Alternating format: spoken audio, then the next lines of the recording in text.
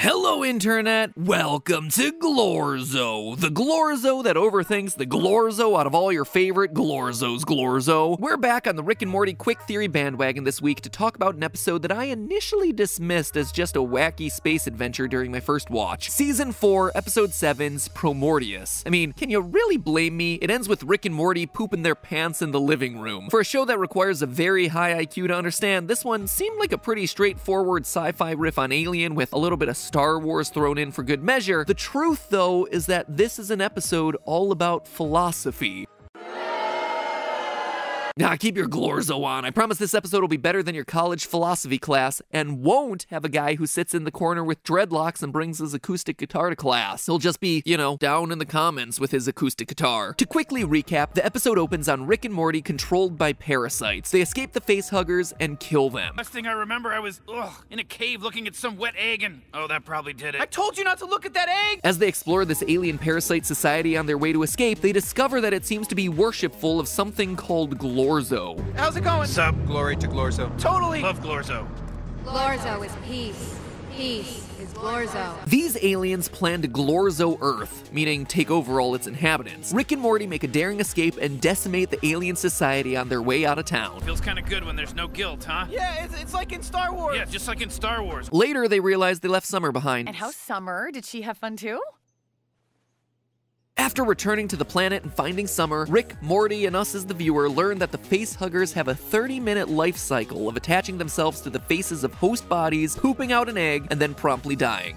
Wait, so all you do is live half an hour, eggs, and die? Yes, we love it. I'll do it right now. Summer introduces the revolutionary idea of, you know, not doing that. Okay, you guys don't have to listen to me, but I vote you don't do that. And thus, a new Glorzo society is born. We find out that in this new society, Steve, the parasite that had latched onto Morty, and Bruce, the parasite that had latched onto Rick, each had two different philosophical points of view. And just like that, the philosophy is suddenly back in my sci fi animated series about farts and poop jokes. Steve loves the plan of this new Glorzo society where the lifespan is longer than 30 minutes, a sort of self chosen evolution. Bruce, the parasite controlling Rick, thinks that the old ways of living for 30 minutes and pooping out an egg were better, and takes to Glorzo Tube to spread his message to the masses. Here's a scientific fact I'm not allowed to say.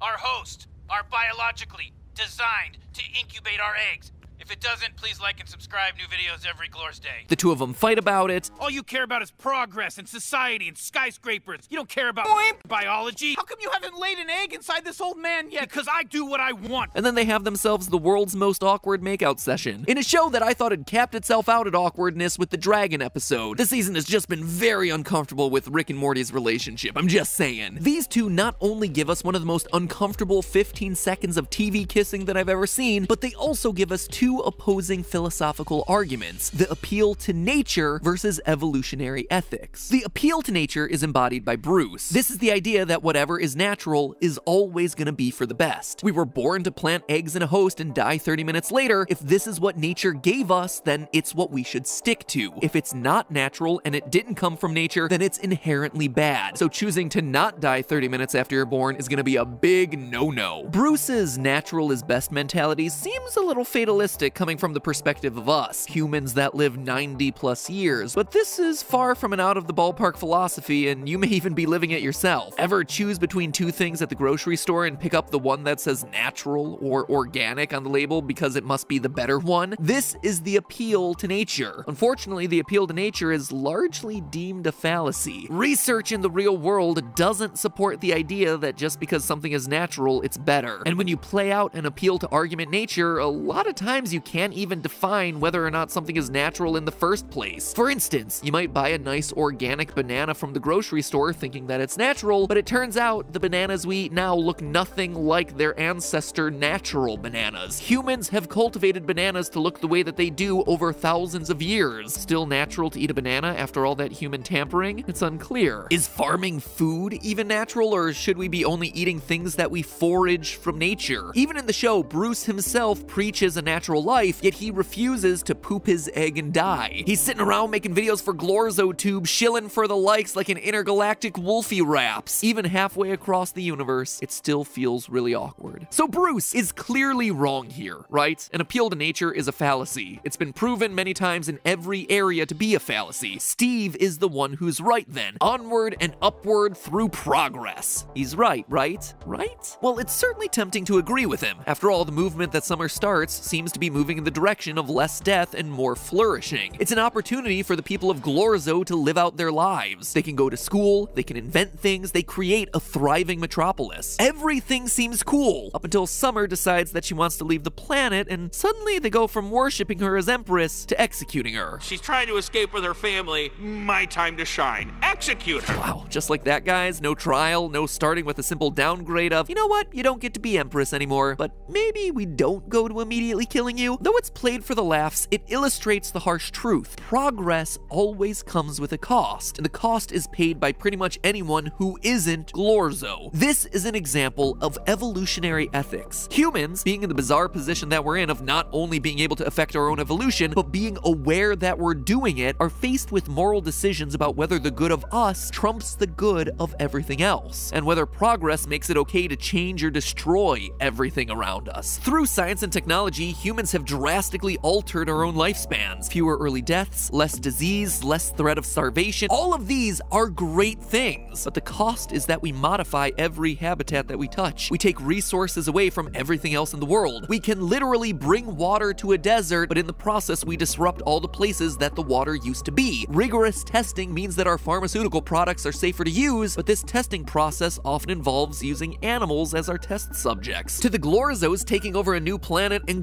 glorzifying them is a great thing. To the humans that are about to be glorzoed, maybe they'd beg to differ. And so again, we arrive at another Rick and Morty episode where both sides of the philosophical argument seem to be wrong. Appeal to nature sucks, but Glorzo style progress at all costs sucks too. Am I personally happy about progress? You betcha. 150 years ago, over 40% of people born didn't survive until adulthood. But do I always want to live with the guilt of, well, living? Well, it turns out the argument doesn't end here. Listen to Bruce's argument again. Oh, yeah, yeah, yeah. Now you respect, like, the biological institutions now? All you care about is progress and society and skyscrapers. There's something more subtle than progress versus nature implied here. Bruce, while he's talking about wanting to go back to the old days, implies that Steve's way of life is just progress for progress's sake. If all Steve cares about is skyscrapers, then yeah, that is kinda lame. He's saying that there's no greater purpose to what Steve is building, versus at least if you're living 30 minutes and pooping out an egg, you know what your purpose in life is. In the end, it may well be that Bruce isn't opposed to progress in and of itself so much as he's opposed to living in a society that only cares about the totems of progress, only cares about the externalities. After all, the Glorzo is Peace movement hasn't made life better for Bruce. In fact, the reason he resents it is because it separated him from the one person that he loved.